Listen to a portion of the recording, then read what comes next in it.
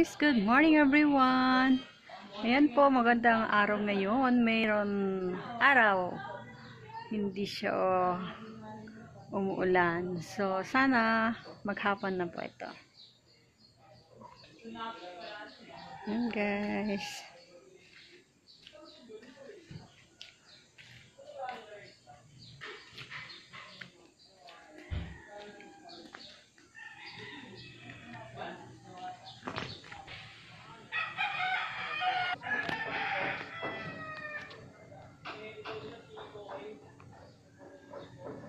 Ayan po, nakita niyo yung mangga kumakain ng ibon. Kinakain ng ibon yung mangga, oh.